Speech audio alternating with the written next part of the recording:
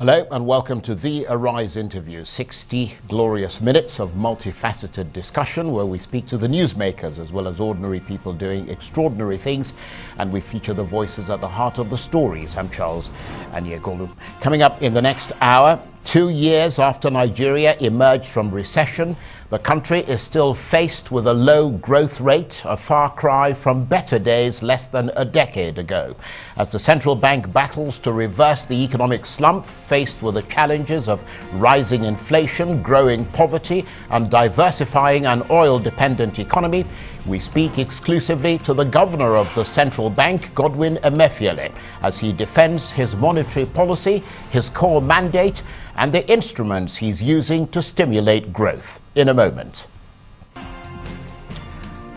Welcome back to the Arise interview. I'm Charles Aniagolu. Now, in a country where higher food prices have pushed up annual inflation to its highest level in 17 months, the country's borders have been closed in a crackdown on smuggling and growing government debt is causing concern. I sat down with the governor of Nigeria's central bank, Godwin Emefiele, in an exclusive interview with Arise News. Let's listen in. Thank you very much indeed for talking to Arise News. You've been variously described over a period of time as the unseen hand behind the Nigerian throne, the Nigerian economy, uh, a brilliant mover, somebody who is in charge of, in some ways, of the money market, moves it in different directions, the master dealer, as, as it were. Is this a man whose career you recognize as both a central banker and a former commercial banker yourself? Well, uh, Charles, and thank you very much for having me um, on Arise TV this morning, and, and I thank you for those um, nice compliments. Yes, you're very correct. Uh, before I came on board, I had spent 27 years in the banking industry, and, um, and my career peaked at a level when I was the chief executive of Zenith Bank, and um, and I'm here now for five years plus, and I believe we still have a lot of work to do. But the issue that you raised about um, whether you call it an unseen hand or um, somebody who is really uh, keen on getting things done. I thank you for those compliments, but I think it's not really about that. It's really about the fact that Nigeria has, um, I, I, pardon my use of the word, sort of receded when its contemporaries have made tremendous progress uh, in their various in their various countries and economies.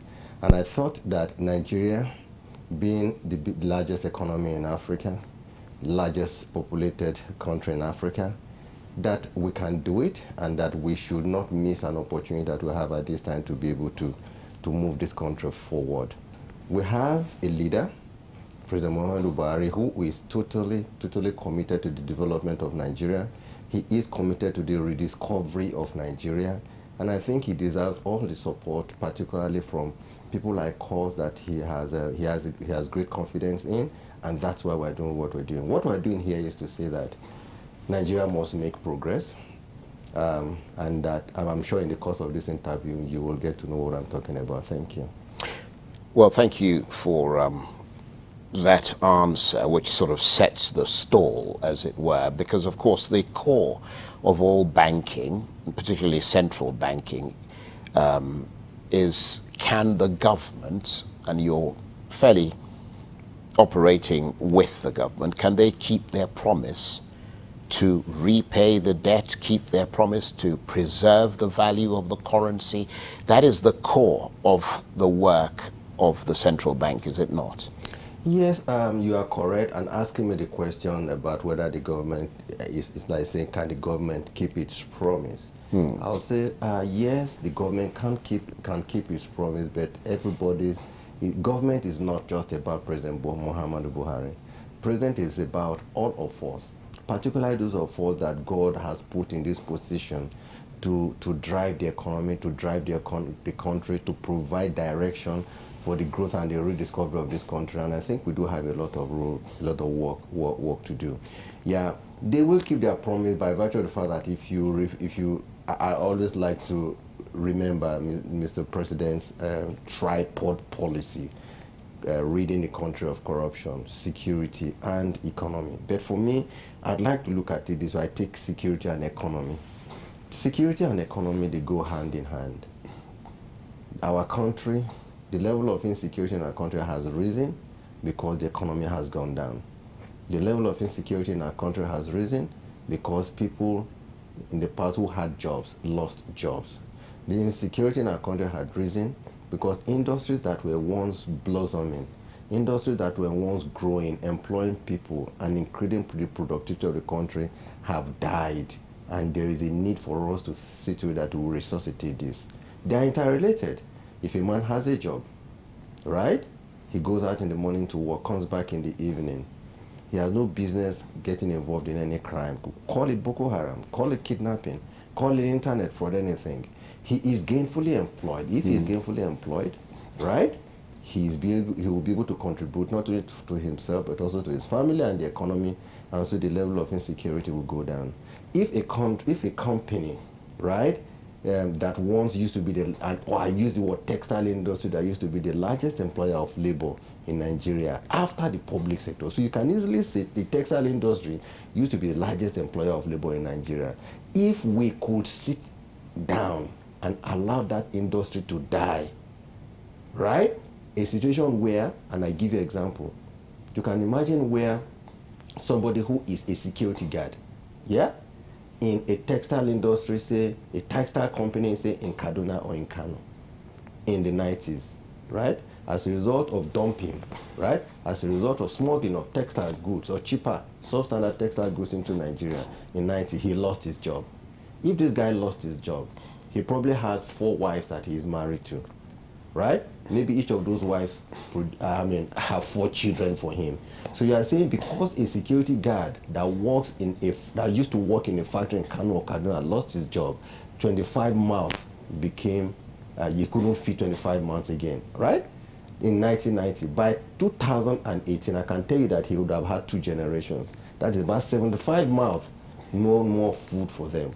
And you want 75 mouths to stay without food, and they look at you and I wearing ties and suits and you think they'll be happy with us, they will kidnap us. Mm. That is that's the basic thing. So there's a relationship between economy, growing the economy, making sure that people have jobs, making sure that our industries remain alive, and the level of insecurity in our country. They are if you lose if you if they lose their jobs and they can't feed themselves, then there will be insecurity. But if we give them jobs, the industries grow, the economy blossom, right? Growth growth in the economy, the rate goes up, then insecurity will reduce. There, there's an inverse relationship. Right, but, but is it your responsibility to provide jobs for them? Because th there is a question mark. You, it is everybody's responsibility. God put you in a position, right? Whatever policy you put in place, there must be policy that must positively contribute to the lives of yes no people, i understand that but, but, but i'm jobs. wondering because you've mentioned mm -hmm. president buhari mm -hmm. quite a number of times fairly liberally mm -hmm. And I'm wondering whether the continuous threat that has existed with central banks all over the world, we see it happening in America, we see it happening in the UK, in Brazil, and places like that.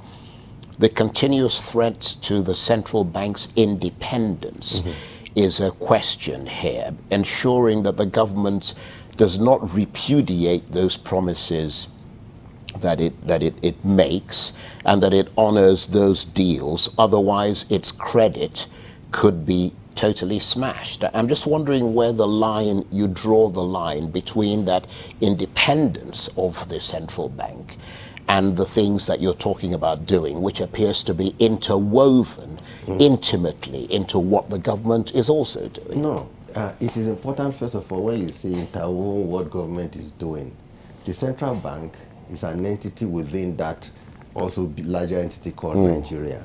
So when you talk about um, maybe interference by virtue of the fact that the central bank is putting in place policies that will help to engender growth, policies that will help to create jobs, there is no there is no um, there is no conflict in that. And indeed, it has nothing to do with the independence of the Central Bank of Nigeria.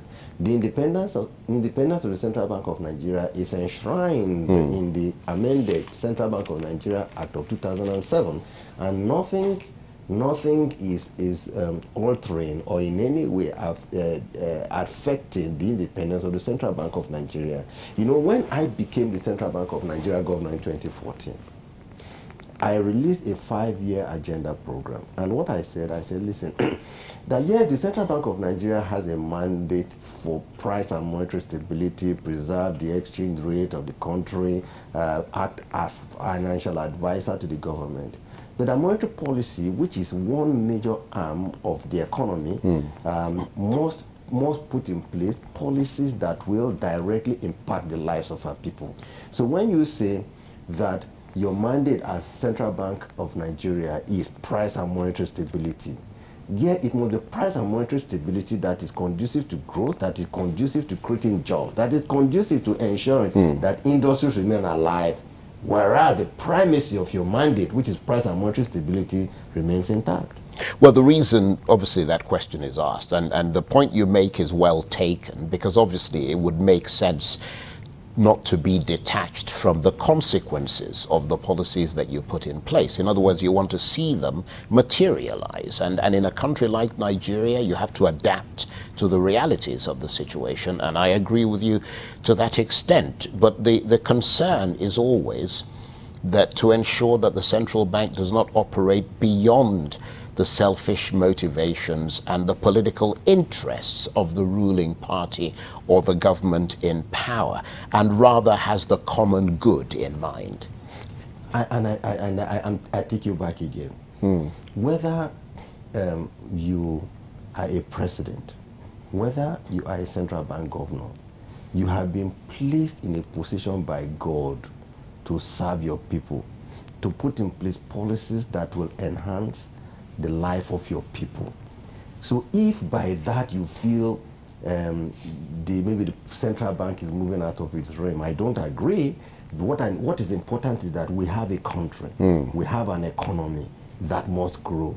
We have a country, we have an economy that where its people must be seen to be to live well, basically well. And that is what we're doing, and it has nothing to do with any conflict or intervention. I'm wondering if you part of your fear is that politicians can't essentially be trusted not to devalue the currency by spending in the short term, which is why it must be taken out of the hands of politicians and handed to people at the central bank. Let me say this: the issue is that um, inflation is a canker worm that we must all fight. Do you understand? Because when you allow inflation to take over, purchasing power will, will go down, will be totally eroded, and that will ultimately affect, uh, you understand, people's ability to live well in a mm. country. But to say whether it is politicians, politicians are actors or like individuals in the economy. And I can tell you this, that the primary mandate of central bank, or in this case, Central Bank of Nigeria, mm. Is to put in place policies that will control inflation. Yes, absolutely. And that we will do. We are not going to we are not going to put the blame on the control of inflation on a politician or anybody. If he likes, because he's an actor, let him do what he needs he wants to do. But we will do what we need to do to make it impossible for him to take certain actions that will affect the level of prices in the country. That's our job, and we'll play. Welcome back to the Arise interview, where we speak to the newsmakers as well as ordinary people doing extraordinary things around the world and featuring the voices at the heart of the stories. I'm Charles Aniagolu. Let's continue our exclusive chat with the governor of Nigeria's central bank, Godwin Emefiele, as he defends his monetary and economic strategy in the face of growing accusations that the central bank is not independent, but is simply a cooperating part of the current political establishment the things that you're mandated to deal with. Mm. One of them, of course, keeping inflation within check. Nigeria has hit its highest inflation rate in October, in, months, uh -huh. in, in, eight months. Mm -hmm. um, 11.61%, which is 0.3% higher than it was in September. What is your reaction to that? Um, yes, um, the, the truth is this, that I'd read a couple of reports that, oh, some said, oh, inflation goes up on the back of border closure. And I just laughed. And I said, um, if inflation is up as a result of border closure, it means that as a result, because as a result of the border closure, right, supply of what I call certain basic basic food items have gone down while demand either has risen or remains flat. We expect demand to go. So demand has outstripped, outstripped supply. And by that arrangement, you are facing what is called a demand pull inflation. And I'm saying, if, and I have to speak as a Nigerian, hmm. if prices of goods have gone up because we closed the border so that jobs can be created for our people, so that our industries can come back alive again. And inflation, inflation has got, prices have gone up. Some, I use, yes, uses the word 0.3% in one month, mm. right? And, and that, for me, I am not, I'm not going to lose any sleep. All we need to do is for us to work hard to see to it that we boost supply so that prices can come down because supply would have gone up to people too much. So I don't have any apologies to people who feel border closure has resulted in price increases. The reason is this. It is creating jobs. A lot of people, is it rice? Is it tomatoes? Is it poultry? In fact, is it cars? Charles, before the border closures, I received a call from the president of the Rice Processors Association. He said, Governor, because the President Buhari said we should all go into production of rice for the good of our country so we can feed ourselves and conserve foreign exchange. You have, you have used through the banks lent interventions funds to us. We have expanded our factories. After expanding our factories, before border closures, most of them are, were carrying nothing less than 20,000 metric tons of milled rice, parboiled rice in their factories. They couldn't sell. After that, the president of Rice Farmers Association called said, Governor, you gave us Anchor Borers program mm. loan. May, it may be difficult for us to repay your Anchor Borers program loan because we have paddy that cannot be sold because the millers are not buying paddy from us. Do something about it. Poultry farmers called us. They said they were carrying thousands of crates of eggs that could not be sold. Charles, eggs were being smuggled into this country, tomatoes being smuggled into this country. What can this country produce if we could smuggle eggs into this country? We are smuggling chicken into this country. Chicken wings is what we are smuggling into this country. And all these were killing our own industries mm. and then making people lose their jobs. So, what am I saying? You talked about inflation going up by 0.3% um, between September and October those prices will moderate. I am so damn certain that they will be moderated because efforts are being made to boost supply. And if that is done, I will use the word take a bet that these prices will come down. In fact, sometimes I, I even said, look, I, I granted an interview three weeks ago in Benin, and I was saying, keep the borders closed. Keep the borders closed, even for two years, or, or whatever you are doing to prevent smuggling and dumping. Do it for the next two years. Right. So and see what will happen to Boko Haram. See what will happen to kidnapping. And see what will happen to people. This country will blow up. That is what we need. Right. So, so you basically advise the government to shut the borders. Oh, I did. I'm not going to pretend about that. In any case, not me alone. I understand even the security chiefs were in the Security Council meeting. And they said that arms being smuggled into this country were all coming in through these borders. As a result of these arms coming in, it was also contributed to the fact that we say, no, shut the borders and let us see what happens. Right, and you talked about um, manufacturing, the manufacturing sector and how it's been hurt by smuggling and by things coming into the country. We've spoken to people like Dunlop, the Michelin, the people who used to produce um, things in this country. The, the, the, biggest problem that they have is not the closure of the borders. That didn't even come up in the discussion. What was the that? biggest what, what, issue was the supply of electricity in Nigeria. That's Correct. number one. Number two was the ease of doing business, the, the, the taxes and the fact that people, they were getting hit from all sides. I mean, that affected their manufacturing base, it affected and I will output. I will explain to you. I will, I, will, I will explain that to you, Charles. Listen, we must give credit to the government. Government is doing everything possible to ease or make it easy for people to do. Ease of being, doing business is, is, is being taken on very seriously. two, three years ago, we moved up 24 points. Just this year, or about just about two weeks ago, we also read that we moved up again. The ease of business, doing business in this is, is moving up in Nigeria. We're doing well. Electricity, government is doing everything possible, right, to solve electricity problem. But what I'm trying to tell you is this, Charles. Let's even imagine electricity is a problem. Yeah? We're saying imagine. I said, let's imagine. Right. I'm asking. Because it is a problem. Yes, okay. It is a problem. Now, if it's a problem, what does it do to you? It makes your cost of your goods become more expensive. Isn't it? Mm-hmm. If, and then relative or compared to the imported alternatives, right? It becomes relatively more expensive. But you and I, particularly those of us in, in, in position of policy, have a responsibility to say we provide jobs for our people and also grow our industries. So we have to put in place policies that will still keep those industries alive. Notwithstanding the fact that as a result of lack of electricity and they have to use generator, which I, I use the word regrettably, because government will still tackle the issue of electricity.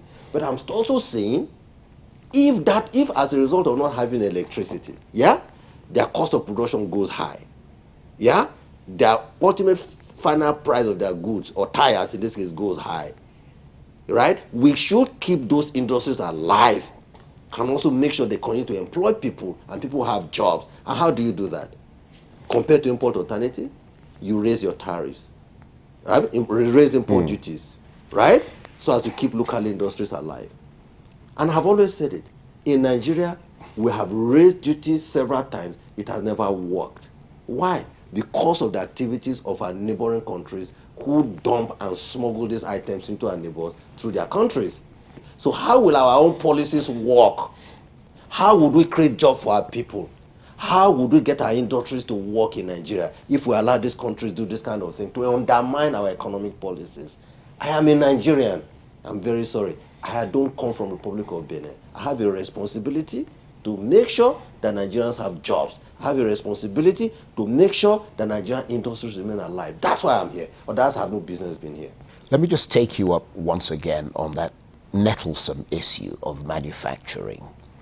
The reason I say that is that you've got manufacturers that are making an effort in Nigeria. You've got, I give you an example, Innoson. It's a car, car manufacturer in this country. Um, I don't see the government driving Innoson cars. I mean, I, I don't see the president of Nigeria driving a car that's made in Nigeria. I, I don't see them going across the whole of West Africa and Africa and pushing the idea of Nigerian cars being sold into those countries. Why is that? Well, uh, thank you very much again, Charles, for that. You are correct. And all I can say is that we will try as much as possible as Nigerians and, and, and somebody who has been placed in this position of policy to see to it that even we Nigerians, right, we use Nigerian made goods. Yeah, but it starts I'm a from the top. I I'm a mean, you're not using Look at my Innoson suit. cars. Look well, at yeah, my but, tie. but you're not Oh, no, it's using okay. Innoson It's cars. okay. No, I- you I'm won't see the British government. you, right, you won't I- see the British government using a Do you know Nigerian something? car. And- and I ju- why? Why are Nigerians I, using? I just admitted to Right. you. And Particularly I'm- the gov- and government I'm telling you as I'm sitting down, Right. I'm wearing a, I'm wearing a, I'm wearing a suit. Let me use the word perhaps. They are imported.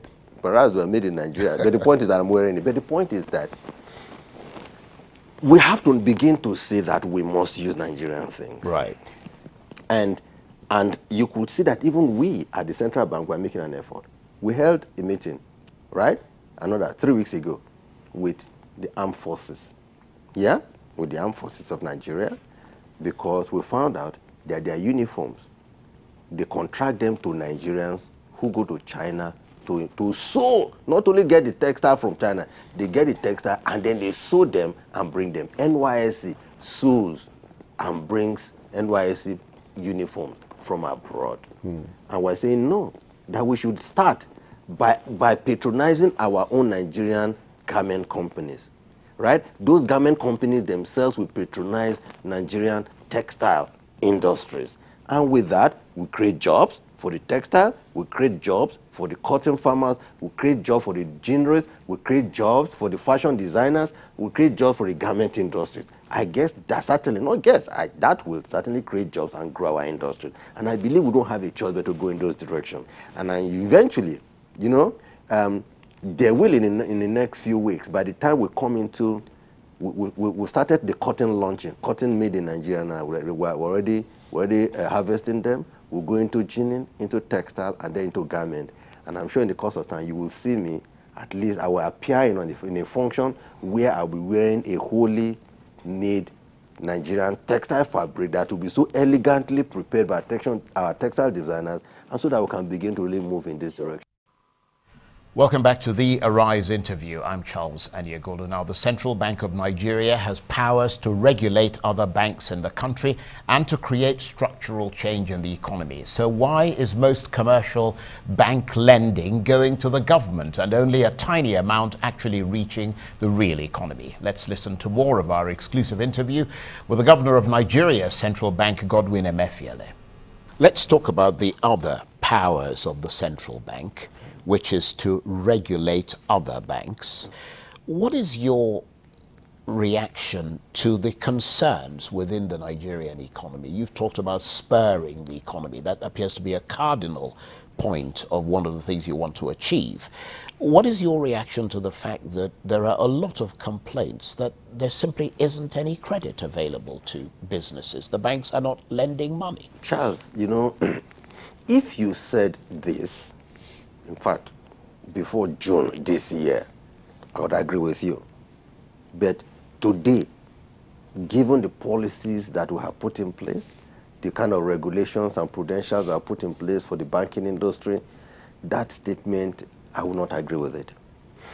Before June, okay, there are different means through which the regulator can use, in this case, to get the actors, banking industry actors, uh, to catalyze the economy because they play a primary responsibility as intermediaries, taking money from surplus to deficit sectors so as to be able to help catalyze the economy because that is the primary role or responsibility that they have. So what the central bank had done, I used the word before June, is that you use moral, moral suasion, you tell them, listen, you guys are not lending, look, we need to create jobs and all that. Or listen, um, you need to do something to grow your credit and the rest of them. We have used, we had used moral suasion. It didn't work because we went into monetary policy committee in May and we're looking at the industry loans. Mm. And we found out that most of the times when we have analyzed the size of industry loans, they were at best, they had plateaued. At, in fact, in some cases, industry loans were dropping. Okay? And, and monetary policy said governor, deputy governor, you must do something because we want to see credit grow. Given that we had used moral suasion, all sorts of cajoling and all that in the past, and it didn't work, so we had to put in prudentials. In June, when we looked at the numbers, the industry loan deposit ratio was 57%. And we said the banks must lend. That since we have used moral suasion, it hadn't quite worked, we are going to get the banks to lend because we know what to do to get them to lend. And in this case, we had to use the prudentials. Using prudentials meant we had to in insist that they are decided that loan deposit ratio must be minimum 60% by September the 30th. 3% increase, which translated almost to about 1 point, about 1.6 trillion naira. Right? And we, we said there, by September 30th, it had to be that if it is not, wherever we find any shortfall, we will take the money from you and, mm. and, and, and then lock it up in a zero interest, zero interest asset where you're not going to make any money. By that, June, by June, 2019, industry loan was 15.4 trillion. By September 30th, when we looked at it, it had risen to 16.4. You could see the capital market is back alive again. You can see that people, banks are lending money. And we're trying to see, we all have shared responsibility to help to grow. And that is why we're saying the banks will. Mm. So when you say people are not lending, that's not true. I just felt I should debunk that and to let you know what has been done uh, to grow industry credit. And you're absolutely convinced that the effect of these policies is having an impact on the real economy in Nigeria? It will, because and we are testing it on a daily basis. Our banking supervision department look at the numbers on a bank-to-bank -bank basis and sometimes ask for details of where cases, mm -hmm. in cases where the loans have gone up. And we are convinced, and because we believe, that by doing this, consumer credit will be back alive again. mortgage credits will be back alive again. Not just industry, not just corporate credit. But, but you have to agree that at this point, mm-hmm. um, I mean, and I'm, I'm talking about monetary policy and the mm-hmm. effect it has on the real economy. At mm-hmm. this point, most of bank lending is going to the government. no, wait, see, what I'm trying to say is this. Right. that we have begun to see a shift, right? Right. From lending primary on treasury bills and OMO, we have begun to see a shift from that to private sector. Right. And that with time, I, I believe this, this normally has its own lag periods.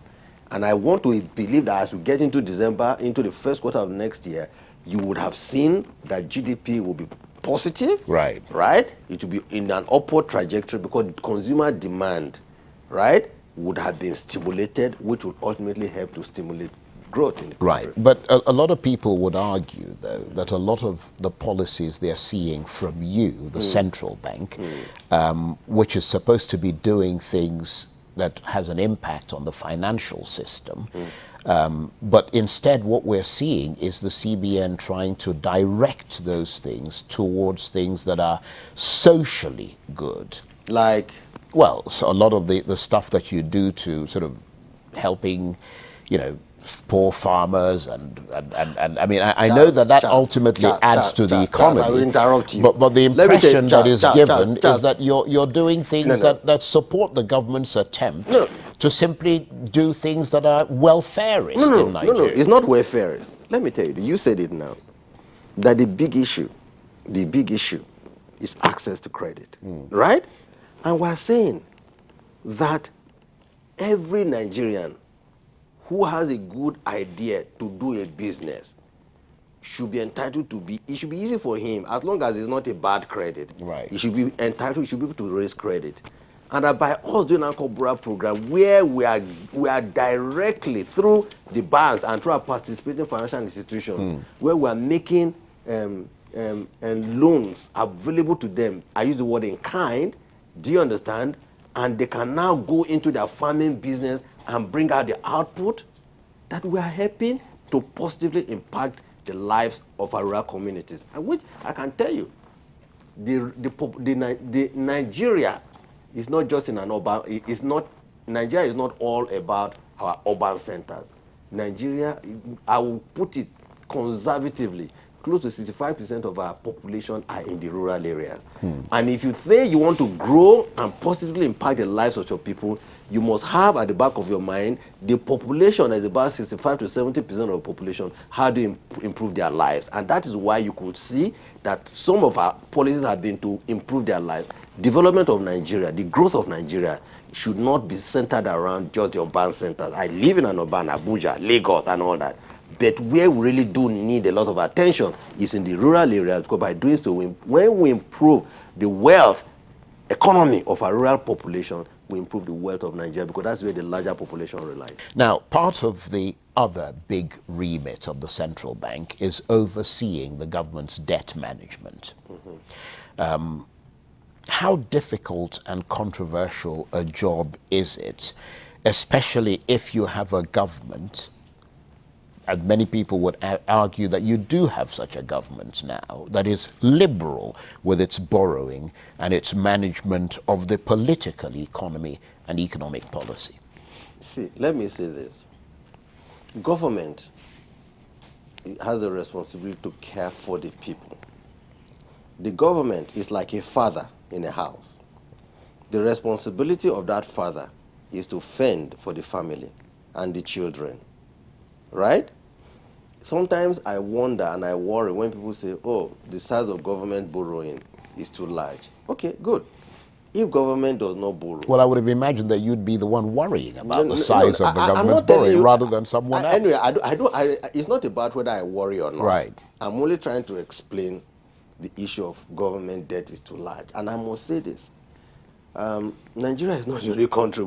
By, by the way, our debt to GDP ratio, which today is about 19 to 20, 21 percent, is among the lowest you can find in any part of the world. yeah, but people still judge it from the fact that a few years ago, Nigeria's debt was completely wiped out. Listen, no, no country lives without debt. And I Yes, go I understand To, and that. I go back to the story I was giving you, that a father he has a responsibility to fend for his children, like Nigeria has a responsibility, or Nigerian president or government has a responsibility to fend for, for, for Nigerians. Right? It has to pay for the children to feed or to go to school. Two ways. Either he works and earns revenue, isn't it? Earns a salary mm. to feed the children. If his salary is not enough, yeah, to take care of those children, pay their bills, education, feed them, clothe them, take care of the wives and all that, then he has to go to maybe go to your neighbor or go to your bank take say please lend me money because I'll pay tomorrow. That is basically what is happening. So and then when people say government should not borrow. Then mm. the only other option a government would have is to raise revenue. Yeah, but government but, says it raises revenue. People say, oh, we don't want to pay taxes. Okay, you don't want to pay taxes. You don't want government to raise revenue. Yet you want government to build hospital. You want government to build your road. You want government to bring life, I mean, infrastructure into your community. It can work. Government must do either of the two: raise revenue or take loans. But I'm telling you that this government is very mindful of the size of its debt. And I repeat, debt to GDP is low. But the big issue is revenue, debt service is high because revenue is low. Yeah. Right? Debt service to revenue is at its ultimate high. And that is why you and I should work together to say, look, what can we do to not only broaden mm. the, the revenue uh, bracket, but also in some cases raise revenue for people to be able, people must pay their taxes so that government can fend for everybody. Yeah, I, I think the main concern mm. is that often you have governments that believe that the way to make the country prosper mm. is to borrow and spend, which is where your advice as an expert comes in, because a lot of the politicians don't have exper expertise in these areas. Government can either raise revenue and spend or borrow to spend. But where is government spending on? To what extent has that spending been impactful positively on the lives of the people? Well, Nigerians are still wondering at. where it is being impactful. And, and, and the concern as well is that central banks are supposed to believe in things like sound currency, sound low debt with proper repayments and no defaults. I mean, there's nothing wrong with that. We believe in that, and I yeah. believe that uh, we're working on that, and where we need to provide advisors as financial advisors to the government, we are providing that advice. Welcome back to the Arise interview. I'm Charles Aniagolu. Now, the governor of the Nigerian Central Bank, Godwin Emefiele, has been talking to me about a wide range of issues related to monetary policy and the Nigerian economy in an exclusive interview with Arise News. Let's listen in to some more of that chat. Do you think the government is doing too much in a country like Nigeria? Government can never do too much. Because, because the private enterprise, the private sector is supposed to do a lot of these no, things. No, when you say this. Like create jobs no, and all that. No, no, no. First, government has no business being in business. We've all learned that in mm. business schools. But what is government doing? It's not as if government is in business. Government providing infrastructure, providing road, right? Providing um, making sure that hospitals, our community hospitals, are alive again is not too much of government responsibility. Yeah, but the is, yeah. private sector really in some other countries have a lot of roles to play. Like for instance, yes, building roads and tolling roads. And you could see government themselves had listened to the advice that they must toll roads. Give it to private sector and let it let and credible private sector, not just your friends, give it to credible private sector who will build the roads, who will toll the roads, collect the revenue, and run an enterprise that is there in the area of specialization. Well, what I hear you saying are the things that ought to be done. What the I'm, government is doing some. Well, what I'm interested in is the things that are being done. Because you talk about ho local hospitals. Correct. I mean, the hospitals are under-equipped. Mm -hmm. You talk about the roads. The roads are a disaster in Nigeria. I mean, let's not ameliorate the terms we use. The roads are a disaster if you drive on the roads in Nigeria. Electricity has not worked. And it's not worked. relative to the past, and I don't want well, to, I don't want to go too far into the past, relative to the past, electricity situation today is better than it was before. But why is it that Nigeria can't solve its electricity problem? Government after government mm central bank after central bank has come in. No, that, the central bank has well, its core responsibility. Well, yeah. Well, now you talk about core responsibility when it comes to where it pinches. Government has been doing its best. That's what I'm telling you. That the situation of electricity today, in my view, right, the number of hours people enjoy electricity, again, I may be, it may be a subjective view, is more than it has been in the past, right? I know and you can see it our railways are working and government is spending money on railways. What central banks actually do day to day is mm. they lend money to banks, is that right? No, government, uh, central bank. Part of what they do day to day uh -huh. is they lend money to banks secured against the loans that the bank themselves have made, mm. or they buy the assets from the bank. Is that right? I really, I you are not getting the right you're not a banker. Government, well, obviously, central That's banks, why I'm asking you right. the question. Central banks right. really are what we call lenders of last resort. Banks have a role to collect right. money from savers and loan those monies to those who want to borrow from them. Right. But when central bank comes in as a regulator, managing, I mean, and, and they're monitoring the operation of the bank and as well as the, in the banker customer relationship right. to see to it that it is a cordial and business friendly relationship. However, when there's an issue about the, that bank's ability to be able to meet its obligation, the central bank therefore steps in right. as lender of last resort. So does the, does the central bank then say, don't lend against such and such and, and no, there are know, regulations. do lend to no, other no, yeah, things? There are regulations, right. there are prudentials, that talks, talks about um, that you cannot lend money unsecured to a customer, do you understand, an amount above a particular mm. threshold. However, that is a regulation that is also there in the Bank and Other Financial Institutions Act. But you should be sure that as a bank, if you do lend money, yeah, that is unsecured, make sure you lend money to a borrower that will pay. Yes. If that borrower pays, nobody quarrels with you. And that's that a big problem in decision. Nigeria, isn't hold it? Hold on, hold on. That will be your business decision mm. if hmm. that person borrows and pays. But if that person that you lent money to took that lo loan unsecured and the person does not pay, the central bank will step in and say, we told you mm. not to lend money without collateral. Where's the collateral? If you don't have collateral, they will have a reason to believe that you colluded with that bank, mm. with that person to, to defraud a depositor whose monies have been lent by you to a borrower. There's been concerns raised about the amount of money that banks charge for the use of cards, for example, when you use a card to pay for a transaction, that there's a considerable amount of money that is tacked onto that. In as much as I believe that banks are entitled to charge for services provided, we also do not believe at the Central Bank of Nigeria that those must be extortionist mm. in nature. Um, I will, we receive, and from time to time, we keep receiving uh, complaints about certain excessive charges and the rest of them. And what we do is that we get our Consumer Protection Department together with our Banking Supervision Department to engage the banks and get those funds reversed back to those customers if they were not legitimately charged. We'll continue to do that. But um, but that banks um, do deserve to end some char charges or for or fees for services to that they render.